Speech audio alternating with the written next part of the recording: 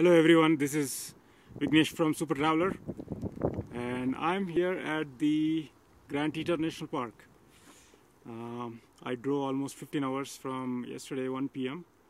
till 6 a.m. in the morning. I reached early morning so I got a spot here at the Jenny Lake campground uh, for only one day and from tomorrow it's going to be closed so I'm going to find campground space in I think Gros Ventre uh, which is a little bit further away.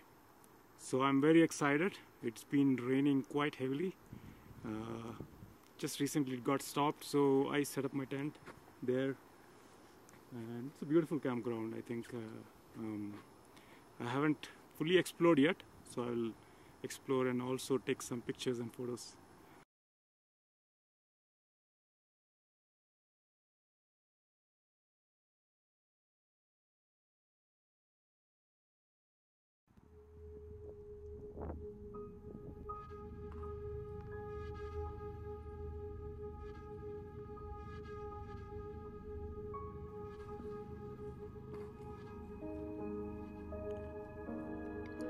This is Jenny Lake, which was formed 12,000 years ago on the foothills of Teton Mountains.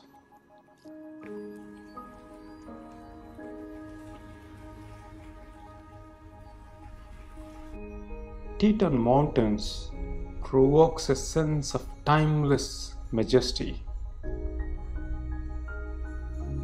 When I was there, I was captivated by how this lake shaped the beauty of Grand Teton National Park. I was breathing fresh air, experiencing pristine waters, majestic mountains, fall colors, and the roaring sounds of water touching the shores.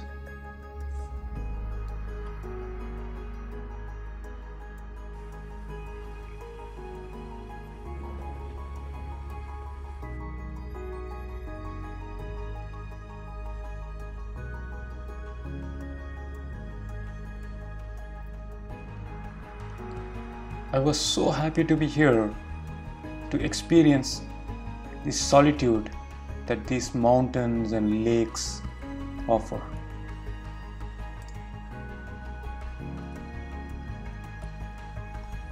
After spending time at the shores, I took a boat ride to the Hidden Falls.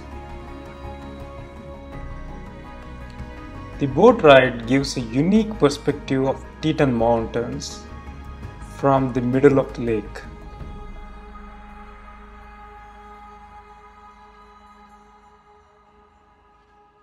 And I recommend anyone visiting Jenny Lake to take this boat ride to experience the mountain in a totally different way.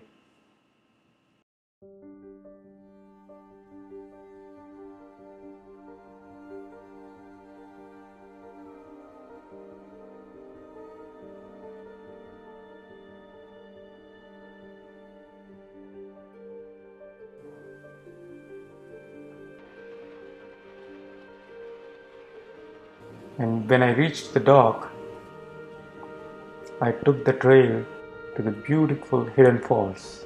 I could hear the sounds of nearby river roaring through the valley. The fall colors accentuated the beauty of these waterfalls.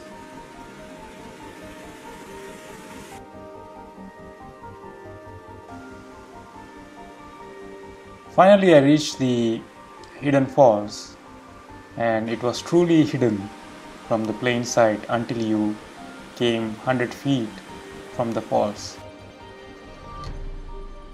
After taking in the falls, I headed back to the ferry, which was the last one, to the visitor center.